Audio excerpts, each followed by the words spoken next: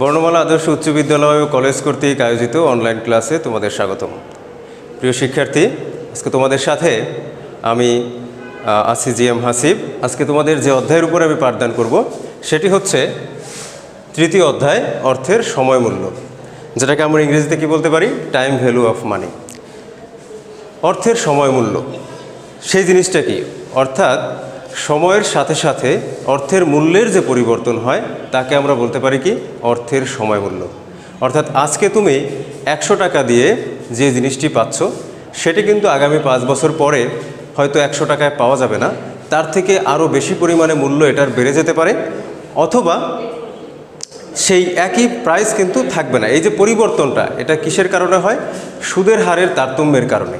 তাহলে দেখো, আমি এখানে বোর্ডে লিখেছি যে অর্থের সময় মূল্য কি? সময়ের পরিবর্তনের সাথে সাথে অর্থের মূল্যের যে পরিবর্তন হয়, তাকে আমরা বলব অর্থের সময় মূল্য শিক্ষার্থীরা, তোমরা কিন্তু পরীক্ষায় একটা জিনিস ভুল করো, সেটি হচ্ছে তোমরা লেখো যে সময় পরিবর্তনের সাথে সাথে অর্থের যে পরিবর্তন, তাকে অর্থের সময় মূল্য বলে। না, এটা কিন্তু ঠিক নয়। কারণ অর্থের পরিবর্তন বলতে কি বোঝায়? অর্থের পরিবর্তন হচ্ছে তোমার কাছে একটা নতুন টাকা ছিল সেটা হয়তো ব্যবহারের ফলে ছিঁড়ে গেছে। সেটা দিয়ে তুমি লেনদেন করার ফলে এটা নষ্ট হয়ে গেছে। এটা হচ্ছে অর্থের পরিবর্তন। কিন্তু কথাটা হবে কি? অর্থের মূল্যের যে পরিবর্তন, অর্থাৎ একটা ওয়ার্ড শুধুমাত্র তোমাকে যুক্ত করলে সেটা ঠিক হয়ে যায়, সেটি হচ্ছে কি? অর্থের মূল্য। তাহলে আবার যদি আমরা বলি, অর্থের সময় মূল্য কি? সময় পরিবর্তনের সাথে সাথে অর্থের মূল্যের যে পরিবর্তন হয়, তাকে অর্থের সময় মূল্য বলে। তুমি আজকে বাজারে গিয়ে হয়তো এক হাজার টাকা দিয়ে যে জিনিস ক্রয় করতে পারবে, হয়তো দেখলে এখন এক হাজার টাকা দিয়ে তুমি হয়তো বিশ কেজি চাল ক্রয় করতে পারো। কিন্তু আগামী পাঁচ বছর পরে ওই এক হাজার টাকা দিয়ে হয়তো তুমি বিশ কেজি চাল ক্রয় করতে পারবে না। দেখা গেলো সেটার প্রাইস আর একটু বেড়ে যায়। এই যে বেড়ে যায়, কি কারণে বেড়ে যায়? এটা বেড়ে যায় হচ্ছে সুদ হারের কারণে। তাহলে এখন আমরা দেখব এই পরিবর্তনটা কীভাবে হয় এবং সেই পরিবর্তনটার ফলে যে নতুন মূল্য দাঁড়ায় সেটি আমরা কীভাবে নির্ণয় করতে পারি। অর্থাৎ আজকের দিনের এক হাজার টাকা বা আজকের দিনের একশো টাকা আগামী পাঁচ বছর পরে কত টাকা হবে বা আগামী পাঁচ বছর পরের এক হাজার টাকার বর্তমান মূল্য কত সেটি আমরা জানব। আজকের এই অধ্যায়টি শেষ করার পরে আমরা সে বিষয়টি বুঝতে পারব। তাহলে অর্থের সময় মূল্য হচ্ছে দুই ধরনের। কয় ধরনের? দুই ধরনের। একটি হচ্ছে বর্তমান মূল্য বা প্রেজেন্ট ভ্যালু অপরটি হচ্ছে ভবিষ্যৎ মূল্য বা ফিউচার ভ্যালু বর্তমান মূল্য বা প্রেজেন্ট ভ্যালুটা কি? এখন এই সময়ে আজকে যে টাকার মূল্যটা আছে, অর্থাৎ একশো টাকা দিয়ে তুমি যদি যে জিনিসটা ক্রয় করতে পারো, তাহলে এই একশো টাকাই হচ্ছে তোমার আজকের বর্তমানের মূল্য। ভবিষ্যৎ মূল্যটা কি? একশো টাকার জিনিস আগামী পাঁচ বছর পরে আমার কিনতে যদি একশো পঞ্চাশ টাকা লাগে, সেটি হচ্ছে ভবিষ্যৎ মূল্য। এই যে পরিবর্তনটুকু হলো, সেটি নির্ণয় করার কিছু পদ্ধতি আছে, কিছু সিস্টেম আছে। দেখো, আমি এখানে দুইটি জিনিস লিখেছি, একটি হচ্ছে বর্তমান মূল্য নির্ণয়ের পদ্ধতি, আরেকটি আমরা জানব ভবিষ্যৎ মূল্য নির্ণয়ের পদ্ধতি। শুরুতে দেখে নেওয়া যাক, বর্তমান মূল্য নির্ণয়ের পদ্ধতি। যদি বার্ষিক ভিত্তিতে সুদ প্রদান করে, অর্থাৎ বছরে যদি একবার সুদ প্রদান করে, আমার প্রশ্নের উদ্দীপকে বা যদি বলা থাকে কোথাও যে বছরে একবার সুদ প্রদান করে, অর্থাৎ বার্ষিক সুদ হয়, তখন আমাদের বর্তমান মূল্য নির্ণয়ের পদ্ধতিটা হবে PV equal to AV divided by one plus I whole to the power N প্রিয় শিক্ষার্থী পিভি দেখো পিভি দ্বারা কি বোঝায়? পিভি দ্বারা বোঝায় হচ্ছে প্রেজেন্ট ভ্যালু আমি এখানে লিখলাম পিভি সংক্ষেপে হচ্ছে প্রেজেন্ট ভ্যালু তাই না? সেটার সংক্ষেপ করলে হয় পিভি যেটা দ্বারা বোঝাবে হচ্ছে বর্তমান মূল্য। এফভি এখানে আমি আরও কি লিখলাম? এফভি এফভি হচ্ছে ফিউচার ভ্যালুর সংক্ষিপ্ত রূপ বা ভবিষ্যৎ মূল্য। বাংলা করলে হবে ভবিষ্যৎ মূল্য।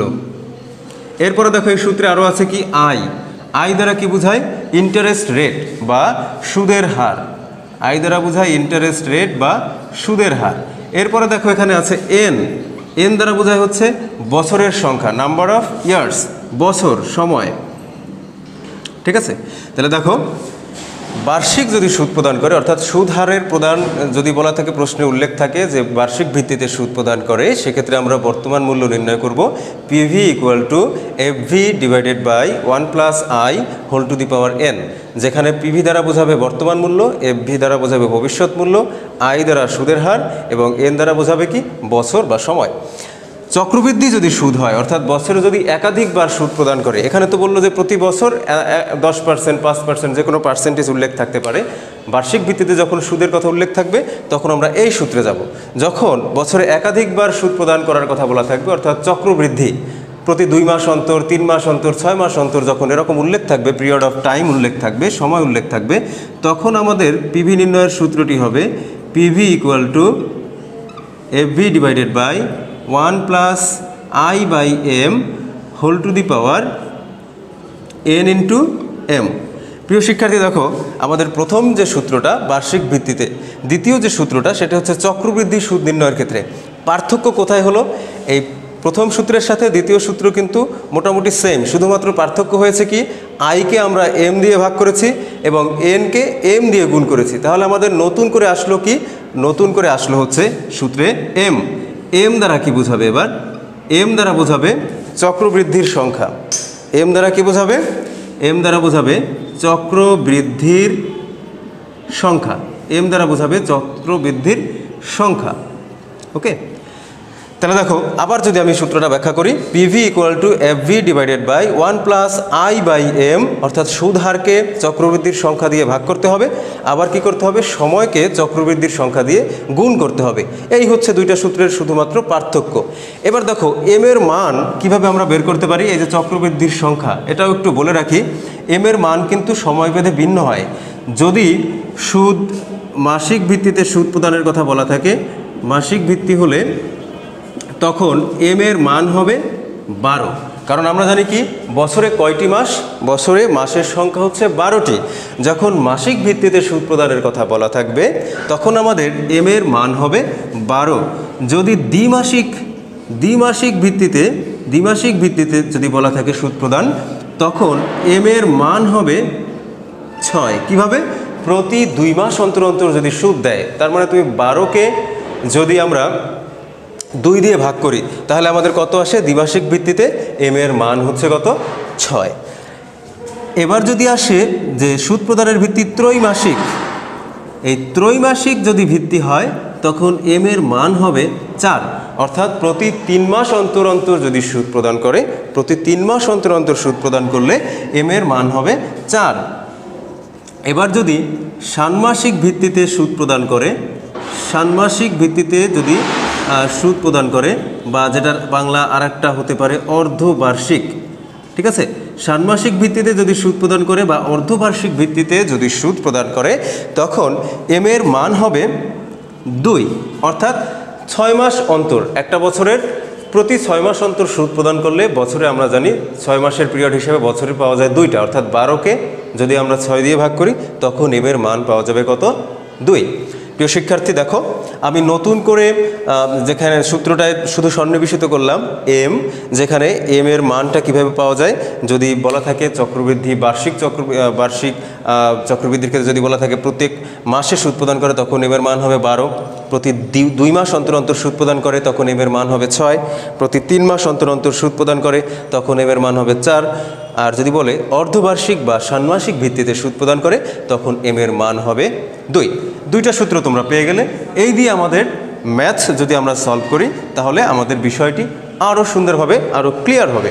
এবার দেখো, ভবিষ্যৎ মূল্য নির্ণয়ের ক্ষেত্রে আমাদের বার্ষিক সূত্রটা কী হবে? ভবিষ্যৎ মূল্য নির্ণয়ের ক্ষেত্রে যদি সুদ প্রদানটা বার্ষিক ভিত্তিতে থাকে, তখন F V equal to PV into one plus I whole to the power N দেখো, বার্ষিক সূত্রের ক্ষেত্রে কি হবে? F V equal to PV into one plus I whole to the power N এখানে নতুন করে বলার কিছুই নাই। এফ ভি দ্বারা কি বোঝায়? আগেই এখানে তোমরা জানো যে ভবিষ্যৎ মূল্য। পিভি দ্বারা কি বোঝায়? বর্তমান মূল্য। ওয়ান হচ্ছে সূত্রের ওয়ান আই হচ্ছে সুদের হার। এখানে আগে বলা ছিল যে সুদের হার আই এবং এন হচ্ছে কি? নাম্বার অফ ইয়ার্স বা সময়। এটার ক্ষেত্রেও চক্রবৃদ্ধিতে শুধু একটু পরিবর্তন হবে। সেই পরিবর্তনটা কি? V equal to PV into one plus I by M whole to the power N into M দেখো, আগেরটার মতোই। পরিবর্তনটা শুধু কি হলো? আইকে আমরা এম দিয়ে ভাগ করছি এবং এনকে এম দিয়ে গুণ করছি। অর্থাৎ সুদের হারকে চক্রবৃদ্ধির সংখ্যা দিয়ে ভাগ এবং বছরকে বা সময়কে চক্রবৃদ্ধির সংখ্যা দিয়ে গুণ করতে হয়। এখন এই এম এর জিনিসটা কি? এম এর মানটা কীভাবে পাবো? ওই সেম আগের মতোই। এম এর মানটা আমরা এভাবে পাবো। যদি মাসিক ভিত্তি হয় বারো, দ্বিমাসিক হলে ছয় ত্রৈমাসিক হলে চার এবং ষান্মাসিক হলে দুই। এবার আমরা এটা দিয়ে যদি একটা গাণিতিক সমস্যার সমাধান করি, তাহলে কিন্তু বিষয়টা আরেকটু ক্লিয়ার হবে। দেখো, এবার একটা গাণিতিক সমস্যা প্রিয় শিক্ষার্থী, দেখো, তোমাদের বর্তমান মূল্য নির্ণয়ের একটি এক্সাম্পল আমি এখানে দিলাম। বর্তমান মূল্য নির্ণয় present value calculation of present value বর্তমান মূল্য আমরা কীভাবে নির্ণয় করতে পারি? একটু এক্সাম্পলটার দিকে তাকাও। জনাব রহমান, আগামী পাঁচ বছর পরে দশ লক্ষ টাকা পেতে চান। তাই না? আমরা অনেক সময় কী করি যে ব্যাংকে টাকা জমা রাখি, যে এখন এই টাকাটা আমার কাছে অলস আছে, যদি ব্যাংকে জমা রাখি, হয়তো ভবিষ্যতে সুদসহ কিছু টাকা বেশি পেতে পারি। তো আমার যে ইচ্ছা যে পাঁচ বছর পরে আমি কত পেতে চাই, পাঁচ বছর পরে আমি দশ লক্ষ টাকা পেতে চাই। দুইটা ব্যাংক আছে। একটি ব্যাংক হলো, এক ব্যাংকের কাছে আমি গেলাম, সেই ব্যাংকটার নাম মনে করো এক্স ব্যাংক সেই ব্যাংক বলল যে, আপনাকে আমি বার্ষিক দশ পার্সেন্ট সুদ প্রদান করব। অর্থাৎ ওই ব্যাংক আমাকে জানালো যে, আমি যে টাকাটা রাখব, সেই টাকার উপর সে আমাকে বার্ষিক দশ পার্সেন্ট সুদ প্রদান করবে। অপরদিকে ওয়াই ব্যাংক, আমি ওয়াই ব্যাংকের কাছেও গেলাম একটু খোঁজখবর নেওয়ার জন্য, যে সেখানের কী অবস্থা একটু জানি। তো ওয়াই ব্যাংক আমাকে বলল যে, ত্রৈমাসিক নয় পার্সেন্ট চক্রবৃদ্ধি সুদ প্রদান করবে। তাই না? এখন এমত অবস্থায় তিনি কোন ব্যাংকে অর্থ জমা রাখলে অধিক লাভবান হবেন? এখন আমাদের ক্যালকুলেশন করে দেখতে হবে যে কোন ব্যাংকে কত টাকা রাখা লাগবে। এই অপশনটাও থাকতে পারে যে কোন ব্যাংকে কত টাকা জমা রাখতে হবে। তাহলে আমি প্রথমে দেখি এক্স ব্যাংকের ক্ষেত্রে। আমার প্রথম যে ব্যাংকটা, সেটা কি? X bank. দেখো এক্স ব্যাংকের ক্ষেত্রে কি বলা আছে? বার্ষিক সুদ প্রদান করবে। তার মানে আমি বর্তমান মূল্য নির্ণয়ের যে দুইটা সূত্র দেখিয়েছিলাম, একটা বার্ষিক আর একটা চক্রবৃদ্ধি, তাহলে এক্স ব্যাংকের ক্ষেত্রে আমার সূত্রটা হবে কি? বার্ষিক সূত্র। আমরা জানি বার্ষিক সূত্রের ক্ষেত্রে বর্তমান মূল্য নির্ণয়ের সূত্রটি হচ্ছে PV equal to F B divided by one plus I whole to the power N প্রিয় শিক্ষার্থী, এখানে পিভি পিভিটা হচ্ছে বর্তমান মূল্য। অর্থাৎ বর্তমানে কত টাকা রাখতে হবে দশ লক্ষ পাওয়ার জন্য, সেটা কিন্তু আমরা জানি না। না জানার কারণে এখানে একটা কোশ্চেন মার্ক করলাম। এরপরে আছে এফভি ফিউচার ভ্যালু বা ভবিষ্যৎ মূল্য। আমি ভবিষ্যতে কত টাকা পেতে চাই, সেটা কিন্তু এখানে আছে। দেখো, আছে কিনা? এই যে আগামী পাঁচ বছর পরে আমি দশ লক্ষ টাকা পেতে চাই।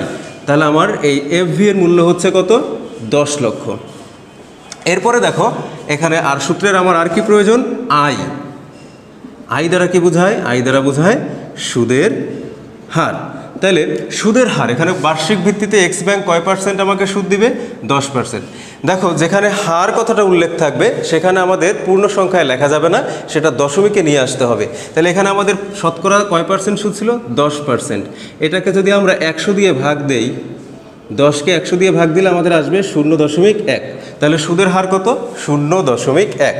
আরও একটি প্রয়োজন রয়েছে, সেটা কি? এন এন বলতে আমি কি বলেছিলাম সূত্রে? এন হচ্ছে সময়। কয় বছরের জন্য সে অর্থ রাখবে? পাঁচ বছরের জন্য। তাহলে এখানে আমরা লিখলাম পাঁচ বছর। প্রিয় শিক্ষার্থী, এবার আমরা শুধু এই সূত্রের যা যা প্রয়োজন সব কিছু কিন্তু আমরা পেয়ে গেছি। এবার আমরা শুধু মান বসাবো। এফবি এর জায়গায় আমাকে কত বসাতে হবে বলো? দশ লক্ষ টাকা। এফভি এর জায়গায় মানে ভবিষ্যৎ মূল্য, ভবিষ্যতে আমি পেতে চাই। কত পেতে চাই? দশ লক্ষ। ব্র্যাকেট ব্যবহার করলাম। সূত্রের এক, এখানে এক দিলাম। এরপরে যোগ। আই মানে সুদের হার, এখান থেকে নেওয়া যাবে কত? শূন্য দশমিক এক। পাওয়ার চিহ্ন দিতে হবে কত? পাঁচ। এন হচ্ছে উপরে, কত? পাঁচ। এবার যদি আমরা এটা ক্যালকুলেশন করি, তোমরা কিন্তু ক্যালকুলেটারে এই সেমভাবে উঠাতে হবে। তোমার সাইন্টিফিক ক্যালকুলেটারে তুমি প্রথমে কি করবে? দশ লক্ষ টাকা লিখবে প্রথমে। দশ লক্ষ টাকা লেখার পরে এই চিহ্নটা কি? এটা হচ্ছে ভাগ চিহ্ন। তারপরে এই যে ফার্স্ট ব্র্যাকেট আছে, এটাও কিন্তু তুমি দিবে। এটা একবারেই দেওয়া যায়, তাই না? নর্মাল ক্যালকুলেটারে পারবে না, কিন্তু সাইন্টিফিকে এটা একবারে দেওয়া যাবে। ওয়ান প্লাস শূন্য দশমিক কত? এক। তারপরে তুমি আবার ব্র্যাকেট দিবে। এই ব্র্যাকেটটা যদি মিস করো, তাহলে কিন্তু হবে না। এরপরে তুমি দিবে পাওয়ার চিহ্ন। হ্যাঁ পাওয়ার চিহ্ন দিয়ে কত লিখবে? পাঁচ। তাহলে তোমার আসবে কত? ছয় লক্ষ বিশ হাজার নয়শো একুশ। ছয় লক্ষ বিশ হাজার নয়শো একুশ দশমিক তিন দুই। আমরা দুই ঘর নিলেই হবে। ছয় লক্ষ বিশ হাজার নয়শো একুশ দশমিক তিন দুই। দেখো শিক্ষার্থীরা এখানে এখন মূল বিষয়টা কি? আমি যদি এক্স ব্যাংকের কাছে টাকা জমা রাখতে যাই, যে পাঁচ বছর পরে আমি দশ লক্ষ টাকা পাবো, তখন আমাকে এক্স ব্যাংকে গিয়ে জমা রাখতে হবে আজকের দিনে ছয় লক্ষ বিশ হাজার নয়শো একুশ। এই টাকা যদি আমি এক্স ব্যাংকে গিয়ে আজকে জমা রাখি, পাঁচ বছর পর এক্স ব্যাংক আমাকে সুদসহ দশ লক্ষ টাকা দিবে। এটা হচ্ছে মূল কথা। তাহলে আমরা এই জিনিসটা একটু মনে রাখি, কারণ ভবিষ্যতে সিদ্ধান্ত নিতে কাজে লাগবে যে এক্স ব্যাংকে আমাদের কত? এক্স ব্যাংকে আমাদের রাখতে হচ্ছে ছয় লক্ষ বিশ হাজার নয়শো একুশ। এতটুকু মনে রাখতে হবে। এরপর আমরা চলে যাব ওয়াই ব্যাংকের ক্ষেত্রে। আরও একটা ব্যাংক আছে আমাদের, কি সেটা? Y bank. তাহলে ওয়াই ব্যাংকের ক্ষেত্রে আমরা যদি দেখি যে কত টাকা জমা রাখা লাগবে, সেক্ষেত্রে আমাদের সূত্রটা একটু পরিবর্তন হবে। সেই সূত্রটায় কি পরিবর্তন হবে একটু দেখো। এখানে আমরা লিখব ওয়াই ব্যাংকের ক্ষেত্রে।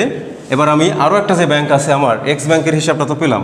আরও একটা ব্যাংক আছে, সেখানে গিয়েও একটু খোঁজখবর নিচ্ছি আমি যে ওখানে কত রাখা লাগবে। তো ওয়াই ব্যাংকের ক্ষেত্রে আমাকে বলছে যে ত্রৈমাসিক নয় পার্সেন্ট সুদ দিবে। তাহলে ত্রৈমাসিক কি? প্রতি তিন মাস অন্তর অন্তর সুদ দিবে, এটা কিন্তু বার্ষিক ভিত্তিতে না। তাহলে আমাদের মনে আছে যে তিন মাস অন্তর যদি সুদ দেয়, তখন আমরা এম এর মান ধরছিলাম কত? চার। কারণ বারোকে যদি আমি তিন দিয়ে ভাগ করি, বছরে চক্রবৃদ্ধির সংখ্যা হয় চার। তাহলে এম এর মান হচ্ছে চার। এখন এই যে এম বললাম, চক্রবৃদ্ধির সূত্রে এম আসে, কোথায় আসে? আই ভাগ M whole to the power N into M দেখো, সূত্রে কোনো পরিবর্তন হয় না শুধু আয়ের নিচে, সুদের হারকে চক্রবৃদ্ধি দিয়ে ভাগ করেছি আর কি করেছি? সময়কে চক্রবৃদ্ধির সংখ্যা দিয়ে গুণ করেছি। তাহলে দেখো প্রিয় শিক্ষার্থী, এখানে আমাদের আরেকটা মান লাগে কি সেটা? এম ওকে এবার সবগুলো বসাও। পিভি এটা বর্তমান মূল্য, এটা আমরা জানি না। বর্তমানে কত রাখতে হবে? ওয়াই ব্যাংকে সেটা জানি না, নির্ণয় করতে হবে। এফভি ওই যে দশ লক্ষ টাকা ঠিকই আছে। ভবিষ্যতে আমি দশ লক্ষ টাকাই পেতে চাই। এফভি এর মান আমাদের জানা আছে। আই হচ্ছে কি বোঝায়? সুদের হার। হ্যাঁ এফভি দ্বারা কি এটা ভবিষ্যৎ মূল্য, তাই না? ভবিষ্যৎ মূল্য। কত? দশ লক্ষ। এবার দেখো, সুদের হার কত? আমার ওয়াই ব্যাংকের ক্ষেত্রে সুদের হার হচ্ছে নয় পার্সেন্ট এটাকে কি করতে হবে? ওই যে যেখানে হার বলা থাকে, সেখানে একশো দিয়ে ভাগ করতে হয়। তাহলে নয় ভাগ একশো। এটা আসবে কত? শূন্য দশমিক শূন্য নয়। এরপরে তোমার এন এন কত? এন কিন্তু সেম আছে। উভয় ব্যাংকেই আমি যে কোনো একটা পছন্দ করব, কিন্তু আমার সময় কিন্তু পাঁচ বছর। তাহলে এখানে আমরা লিখলাম এন এর মান হচ্ছে পাঁচ বছর। এম এম হচ্ছে চক্রবৃদ্ধির সংখ্যা। চক্রবৃদ্ধির সংখ্যা কত? ত্রৈমাসিক অন্তর অন্তর যদি হয়, ত্রৈমাসিক অন্তর অন্তর হলে এম এর মান হচ্ছে চার। ঠিক আছে? প্রিয় শিক্ষার্থী, দেখো, আমি চক্রবৃদ্ধি সুদের ক্ষেত্রে, ও, এটা একটু চেঞ্জ হবে। এটা আগেরটা লেখা ছিল, এখানে কি হবে? চক্রবৃদ্ধি। ঠিক আছে? চক্রবৃদ্ধি অর্থাৎ বছরে যদি একাধিকবার সুদ প্রদান করে, তখন আমরা কোন সূত্রে যাই? PV equal to F V divided by one plus I by M whole to the power N into M সবগুলোর মান বসানো হয়ে গেছে সাইড নোটে এবার আমরা কি করব? এটাকে এখানে মূল অঙ্কে বসিয়ে দেব। এফ ভি এর মান হচ্ছে দশ লক্ষ টাকা, ব্র্যাকেট ওয়ান প্লাস আই এর মান হচ্ছে শূন্য দশমিক শূন্য নয় এম এর মান হচ্ছে চার whole to the power N কত? এন হচ্ছে পাঁচ, এই যেখানেই আছে ইন্টু এম কত? চার। প্রিয় শিক্ষার্থী, সঠিক করার জন্য তোমাদের আরও একটা লাইন করতে হবে। তুমি যদি সাইন্টিফিক ক্যালকুলেটারে এই আগেরটার মতো এটা করো, একটু ভুল হতে পারে। কারণ এই গুণটাকে তোমার করে নিতে হবে। বাকি সব ঠিক থাকবে, শুধুমাত্র কি করব পরের লাইনে? এই গুণটা করে দিব। তাহলে দেখো, সব যদি ঠিক রাখি কি হয়? দশ লক্ষ, নিচে ওয়ান প্লাস শূন্য দশমিক শূন্য নয় ডিভাইডেড বাই চার হোল টু দি পাওয়ার চার গুণ পাঁচ। এটা গুণ করলে কত হবে? বিশ। তুমি এবার ক্যালকুলেটারে ঠিক আগের মতো, আগে যেভাবে করেছ, ওই একইভাবে প্রথমে তোমাকে লিখতে হবে দশ লক্ষ। এরপরে তুমি ভাগ চিহ্ন দিবে। এই দাগটাকে কি বলি আমরা? ভাগ চিহ্ন। এরপর তুমি ফার্স্ট ব্র্যাকেট ব্যবহার করবে ওয়ান প্লাস তারপরে উপরের টাকা লিখতে হয়, তাই না? জিরো পয়েন্ট জিরো নাইন এটা কিন্তু শুধু নয় লিখলে হবে না, শূন্য দশমিক শূন্য নয়। এরপরে তুমি আবার এই যে ছোট একটা দাগ, এটা কি? ভাগ। তাহলে ভাগ চিহ্ন আমরা দিলাম। আবার নিচে আছে কত? চার। এরপরে কি করতে হবে? ব্র্যাকেটটা ক্লোজ করতে হবে। তাহলে তোমরা ফার্স্ট ব্র্যাকেটটা ক্লোজ করে দাও। এরপরে তোমার উপরে আছে পাওয়ার দিয়ে বিশ। তাহলে পাওয়ার দিয়ে তুমি কত লিখলে? বিশ। তাহলে দেখো, এখানে আসতেছে কত তোমার? ছয় লক্ষ চল্লিশ হাজার আটশো ষোলো দশমিক চার সাত। দেখো প্রিয় শিক্ষার্থী তুমি যদি ওয়াই ব্যাংকে টাকা জমা রাখতে যাও, তাহলে ওয়াই ব্যাংকে আজকের দিনে তুমি যদি ছয় লক্ষ চল্লিশ হাজার আটশো ষোলো দশমিক চার সাত টাকা রাখো আগামী পাঁচ বছর পরে তুমি দশ লক্ষ টাকা পাবে। তোমাদের আগে বলেছিলাম যে আমাকে মনে রাখতে হবে এক্সে কত টাকা জমা রাখছি বা এক্সে কত টাকা রাখতে হবে। এক্স ব্যাংকে কিন্তু আমাদের রাখতে হবে ছয় লক্ষ বিশ হাজার নয়শো একুশ। আমি যদি ওয়াই ব্যাংকে টাকা জমা রাখতে যাই ওয়াই ব্যাংকের সিদ্ধান্তটা যদি আমি গ্রহণ করি, তাহলে ওয়াই ব্যাংকে আমাকে রাখতে হবে ছয় লক্ষ চল্লিশ হাজার আটশো ষোলো দশমিক চার সাত। এখন যদি তোমাকে সিদ্ধান্ত নিতে বলে যে তুমি কোন ব্যাংকে টাকা জমা রাখলে অধিক লাভবান হবে বা কোন ব্যাংকে টাকা জমা রাখা তোমার জন্য সুবিধা, তাই না? তোমার জন্য ভালো হবে বেটার হবে। দেখো, আমি কিন্তু দুই ব্যাংকের যে ব্যাংকেই টাকা জমা রাখি, পাঁচ বছর পর যে কোনো একটা ব্যাংকই কিন্তু আমাকে দশ লক্ষ টাকা দিবে। এখন আমি কোন ব্যাংকে রাখব? এক্স ব্যাংক আমাকে বলছে যে এখন আপনি ছয় লক্ষ বিশ হাজার নয়শো একুশ টাকা দেন, আপনাকে আমি পাঁচ বছর পরে দশ লক্ষ টাকা দিব। ওয়াই ব্যাংক আমাকে বলছে, আপনি এখন আমাকে ছয় লক্ষ চল্লিশ হাজার আটশো ষোলো টাকা দেন, আপনাকে আমি পাঁচ বছর পরে দশ লক্ষ টাকা দিব। তাহলে তুমি কোনটা গ্রহণ করবে? অবশ্যই যেটাতে আমি কম দিয়ে এই দশ লক্ষ টাকা পেতে পারি। এটা আমার জন্য একটু বেশি হয়ে যায়, তাই না?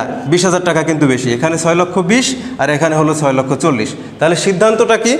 বর্তমান মূল্য নির্ণয়ের ক্ষেত্রে, বর্তমান মূল্য নির্ণয়ের ক্ষেত্রে যেটাতে কম, সেটা আমরা গ্রহণ করব। অর্থাৎ আমি একটা ব্যাংকে রাখতেছি ছয় লক্ষ বিশ প্লাস সামথিং তাহলে আমি পাবো পাঁচ বছর পরে দশ লক্ষ। আর একটা ব্যাংকে আমার রাখা লাগতেছে ছয় লক্ষ চল্লিশ সামথিং তাহলে আমি পাবো পাঁচ বছর পরে দশ লক্ষ। অবশ্যই আমার জন্য সুবিধাজনক হচ্ছে এক্স ব্যাংক তাহলে প্রিয় শিক্ষার্থী, তোমাদের আজকে বর্তমান মূল্য নির্ণয় করার পদ্ধতিটি সম্পর্কে আমি বিস্তারিত আলোচনা করলাম। আগামী ক্লাসটিতে আমি তোমাদের ভবিষ্যৎ মূল্য নির্ণয় এবং বার্ষিক প্রকৃত সুদের হার নির্ণয়ের সূত্রটি বিস্তারিত ব্যাখ্যা করে দেখাবো। আশা করি তোমরা ক্লাসটি বুঝতে পেরেছ। যদি কোনো সমস্যা থাকে, সেটি অবশ্যই কমেন্ট বক্সে জানাবে। তোমাদের সকলের সুস্থতা কামনা করছি। সবাই ভালো থাকো বাসা অবস্থান করো। আল্লাহ হাফেজ। আল্লাহ হাফেজ।